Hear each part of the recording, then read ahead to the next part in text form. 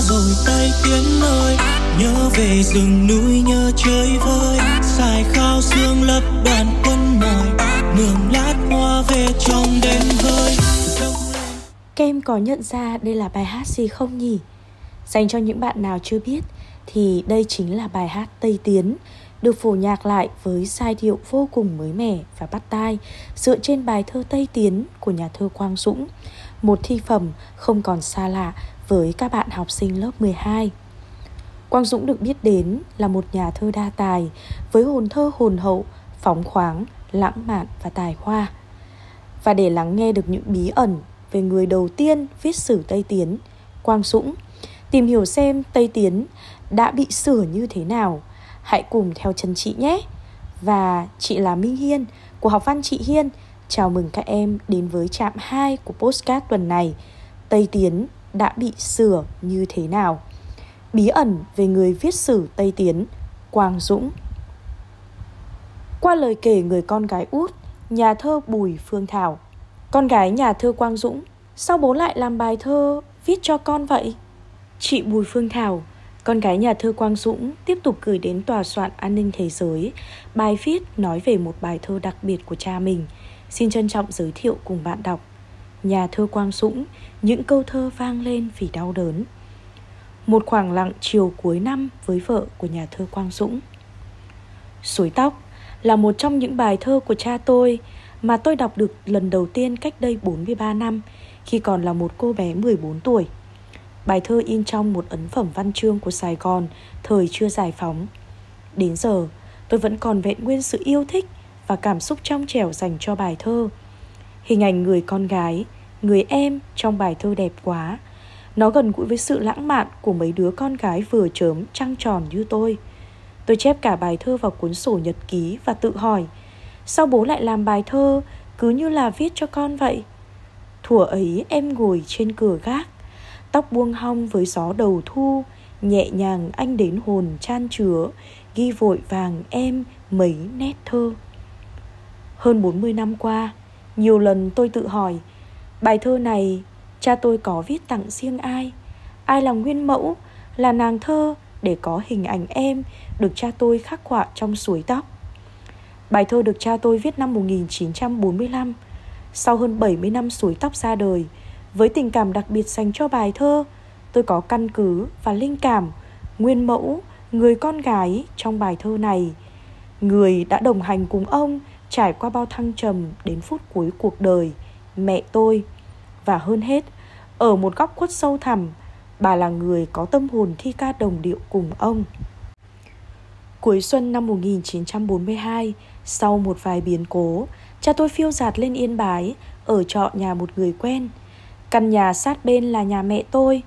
Mỗi ngày, chàng khách trọ trẻ tuổi dáng cao lớn, phong trần, với nét mặt nghiêm buồn, lại lên cửa sổ căn gác nhỏ tầng 2, trông xuống sân nhà mẹ tôi, hướng tầm mắt về phía núi xa sẫm dáng chiều và cất lên tiếng sáo giai điệu bài biệt ly của nhạc sĩ Doãn Mẫn sáng tác năm 1939.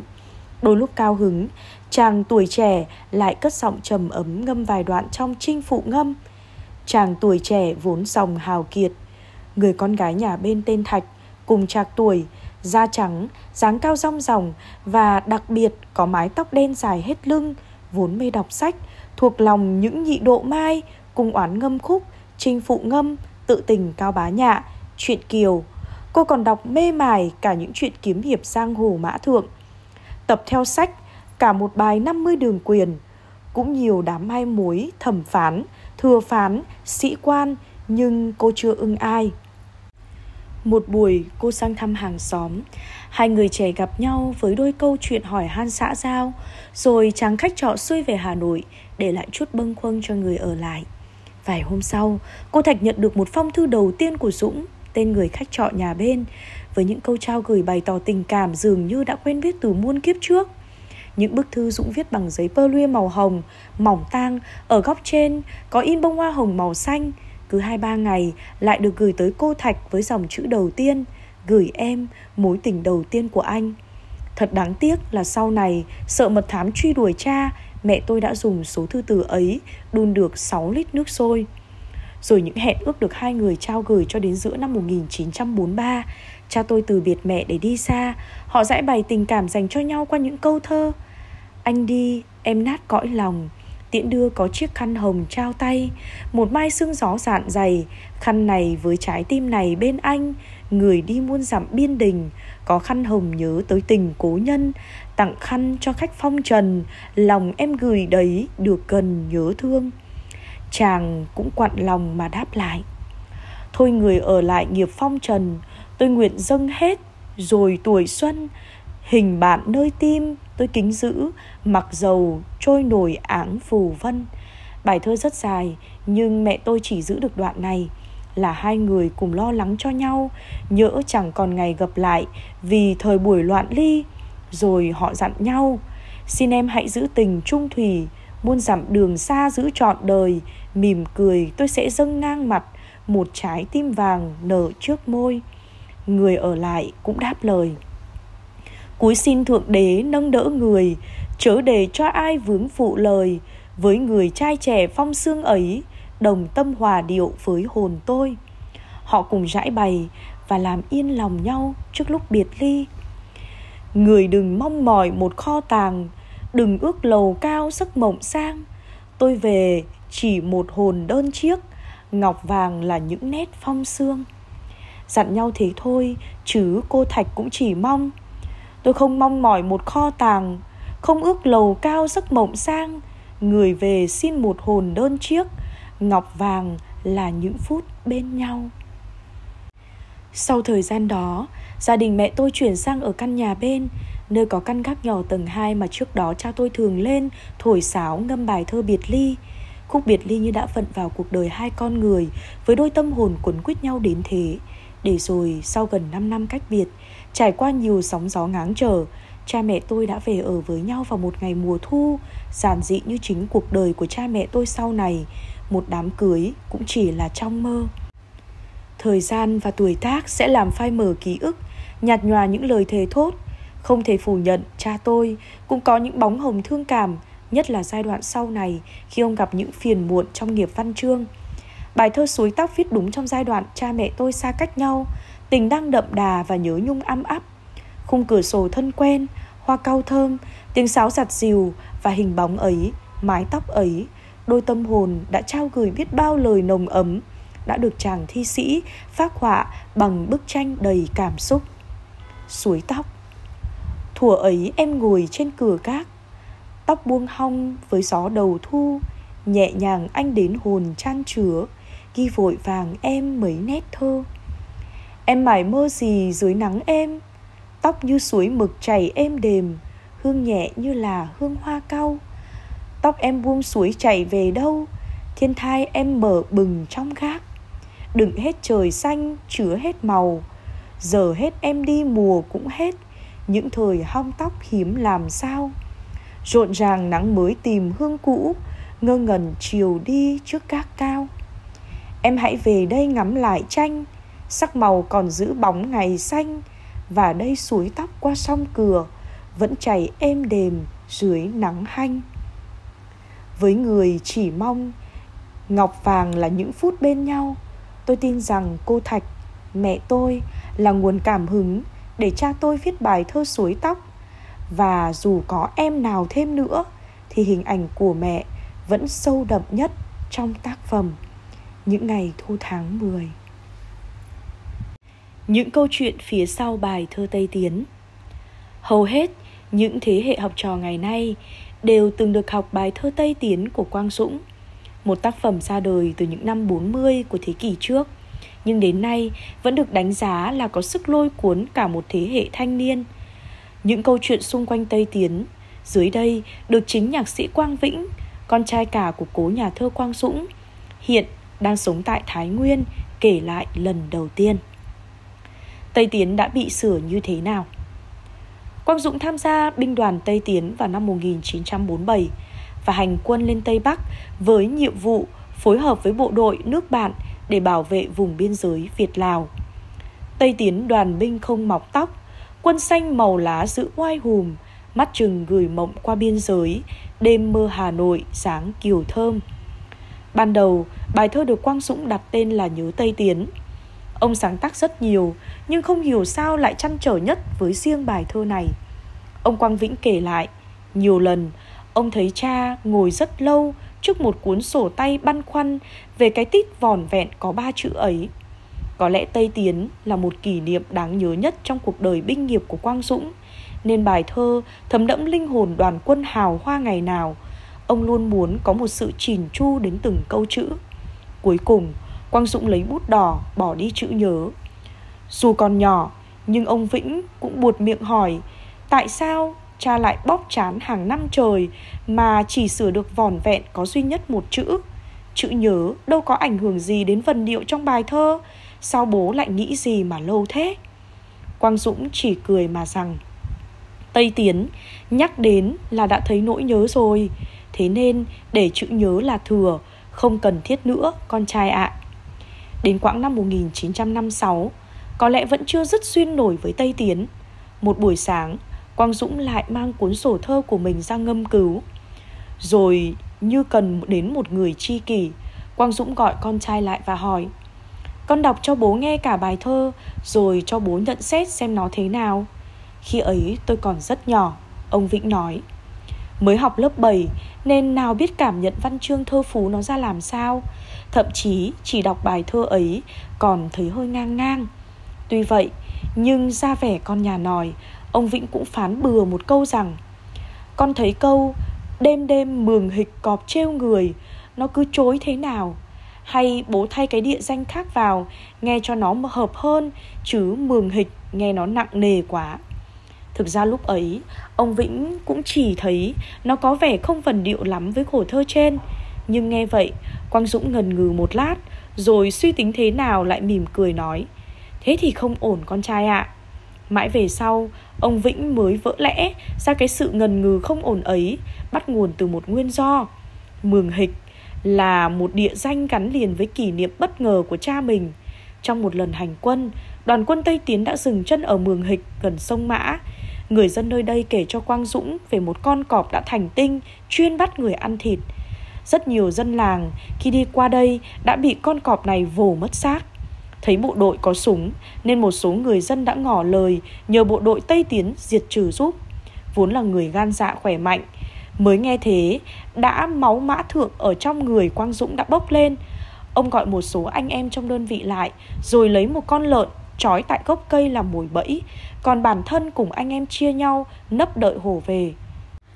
Nửa đêm, dân làng nghe thấy mấy tiếng súng vọng lại từ rừng già, rồi sau đó là tiếng hổ gầm điên loạn. Gần sáng thì thấy Quang Dũng dẫn đầu một tốp bộ đội hớn hở tìm về, người ngợm ướt đẫm xương. Mãi sau này người ta mới biết, lúc bị thương, con hổ điên cuồng chống trả, Quang Dũng phải nổ mấy phát súng mới kết liễu được nó. Vậy mà cái địa danh đáng nhớ ấy, suýt nữa thì ông Vĩnh cắt mất của cha mình. Bút tích bài thơ Tây Tiến của Quang Dũng còn sống Mặc dù người có cha là cây bút được đánh giá là nhà thơ mang trong mình dòng máu lãng xu vào loại bậc nhất trong thi đàn đất Việt thế kỷ 20, nhưng ông Quang Vĩnh không bao giờ khoe khoang điều đó. Với đám con của mình, ông luôn dặn, ra ngoài đừng bao giờ vỗ ngực là cháu của Quang Dũng cả. Chính vì thế mới xảy ra câu chuyện nực cười. Đó là khi con gái ông, chị Bùi Phương Lê ngày còn đi học phổ thông, một hôm học đến bài thơ Tây Tiến của ông nội. Thực ra chị Phương đã đọc bài thơ này tới cả trăm lần Đã được nghe cha kể lại cả trăm lần về những kỷ niệm của ông nội trên đường ra trận. Tiết văn học hôm đó, cả lớp cũng đặc biệt hứng thú với bài thơ. Học sinh đưa ra rất nhiều câu hỏi về nội dung bài thơ cho thầy giáo. Và để chứng minh mình là người am hiểu Ông thầy hôm đó đã cao hứng kể Mới tuần trước tôi còn ngồi với Quang Dũng dưới Hà Nội rằng câu chuyện về đoạn thơ này nhà thơ Quang Dũng lấy tứ ở đâu, khổ thơ kia lấy cảm hứng chỗ nào. Chính Quang Dũng đã tâm sự với tôi như thế. Tóm lại là nghe như thật. Mặc dù rất băn khoăn, nhưng khi đó chị Lê cũng phải sững sờ vì lúc đó Quang Dũng đã mất được chục năm. Hết giờ học, chị về kể lại điều đó với ông Vĩnh. Không chỉ riêng ông Vĩnh mà cả nhà đều tròn xoe mắt. Riêng bà Bùi Thị Thạch, vợ của nhà thơ Quang Dũng, bây giờ vẫn ở chung với con giai trưởng thì cười độ lượng. Ông mày là một bài thơ mà bây giờ thành bất tử, thế là hơn đứt nhiều người rồi còn gì.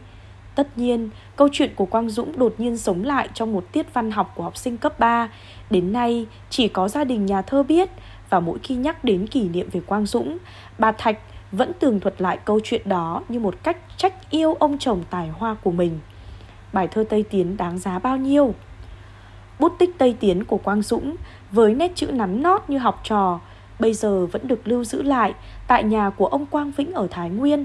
Ông Vĩnh kể, khi mới ra đời, bài thơ này gây được tiếng vang rất lớn bởi khi đó đại đa số chiến sĩ trong đoàn quân Tây Tiến là trí thức, học sinh sinh viên Hà Nội. Nét hào hoa trong từng câu chữ nói về đoàn quân xanh màu lá khiến cho không ít thiếu nữ Hà Thành có người yêu là lính Tây Tiến phải nhỏ lệ.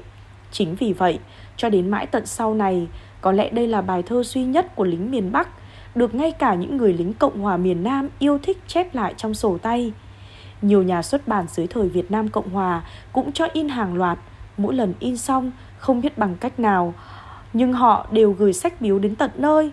Tuy nhiên, để tránh những hiểu lầm, Quang Dũng đều mang đốt sạch. Sau này khi đất nước hoàn toàn thống nhất, bỗng một hôm gia đình Quang Dũng nhận được một lá thư gửi đến từ địa chỉ không quen biết. Nội dung trong thư là chuyện một tỷ phú đất Sài Gòn, giống hệt như trong chữ người từ tù của nhà văn Nguyễn Tuân. Ông tỷ phú nọ ngỏ lời mời Quang Dũng vào Sài Gòn chơi một chuyến để ông ta được ngồi cùng đàm đạo. Trong thư, ông tỷ phú tha thiết đài thọ toàn bộ mọi chi phí của chuyến đi, nhưng mong Quang Dũng vào đó và tự tay chép tặng ông ta bài thơ Tây Tiến để ông ta treo tại bàn làm việc. Lẽ ra với một người hâm mộ thơ của mình như thế thì có lẽ cha tôi cũng đã chẳng phụ một tấm lòng chi kỷ trong thiên hạ. Ông Vĩnh kể, thế nhưng cuối lá thư, ông tỷ phú nọ lại dại dột tái bút. Nếu được ông chiếu cố vào viết tặng cho bài thơ Tây Tiến, thì thù lao chí ít cũng phải là một chiếc Honda. Ngoài ra, nếu ông có thể tặng thêm cho tôi vài câu thơ khác, thì số quà tặng còn giá trị hơn rất nhiều. Đọc xong lá thư, ông Vĩnh kể tiếp, cha tôi chỉ cười nhạt mà rằng văn chương chữ nghĩa rẻ rúng đến thế ư. Rồi có lẽ câu chuyện gạ bán thơ ấy, ông cũng quên khuấy mất trong mớ ngẫu sự thường ngày. Bằng chứng là sau năm 75, khi có dịp vào Sài Gòn thăm chị gái, ông cũng chỉ ở rịt trong nhà, chẳng đi ra ngoài. Duy nhất có một lần bà chị gái ép Quang Dũng đi chơi phố thì ông mới nhất định đòi phải cải trang, ăn mặc thành một tay chơi đất Sài Gòn rồi mới chịu bước chân ra đường. Ấy thế mà vẫn có người nhận ra. Lần đó, Quang Dũng đứng chọn sách trong một tiệm bán văn hóa phẩm. Một người đàn ông trung niên đi ra, bỗng vỗ vai ông hỏi Ông có phải Quang Dũng, tác giả Tây Tiến không? Tôi nhìn giống bức ảnh trong cuốn sách ở nhà lắm. Ông Vĩnh kể, không hiểu cha tôi học tiếng Nam khi nào mà ông trả lời ngay. Ông nhầm rồi, tôi ở Bạc Liêu mới vô. Ông Vĩnh nói vui, có lẽ cha tôi sợ có người gạ bán thơ nên mới không dám nhận như thế. Giáo sư Hoàng Như Mai cũng kể lại, sau giải phóng tôi vào Sài Gòn giảng bài, có đọc sách báo cũ về Hà Nội, tôi bô bô với Quang Dũng. Này ông, ở Sài Gòn họ ca tụng ông ghê lắm. Quang Dũng vội xua tay. Thôi xin ông, ông đừng nói với ai nhé. Mặc dù giàu thơ như thế, nhưng Quang Dũng lại có cuộc sống hết sức đạm bạc. Bà Thạch, vợ của nhà thơ nhớ lại, năm 1960, có một phái đoàn văn hóa nước ngoài sang Việt Nam cứ nhất định đòi đến thăm tư gia tác giả Tây Tiến. Căn nhà bé tí tẹo của ông nằm ở số 91 Lý Thường Kiệt, lại hơi tồi tàn nên cơ quan tạm chuyển ông tới 51 Trần Hưng Đạo, nay là trụ sở Hội Liên hiệp Văn học Nghệ thuật Việt Nam cho đẹp mặt. Có lẽ muốn giữ thể diện cho nhà thơ Việt Nam trong con mắt khách nước ngoài nên Quang Dũng cũng đành chấp nhận màn kịch ấy. Ngay cả đến khi bị liệt, Quang Dũng cũng dạo chơi phố phường Hà Nội lần cuối trên chiếc xe lăn do bạn bè nước ngoài gửi tặng. Cho đến tận những ngày cuối đời, nhà thơ hào hoa này vẫn chọn cho mình một cuộc sống thanh bạch. Nhà thơ Quang Dũng là một trong những nhà thơ chị ấn tượng và ngưỡng mộ nhất. Còn các em thì sao? Hãy để lại bình luận cho chị biết nha. Còn bây giờ thì xin chào và hẹn gặp lại các bạn ở trong những số postcard tiếp theo. Chúc các bạn sẽ có một ngày tốt lành.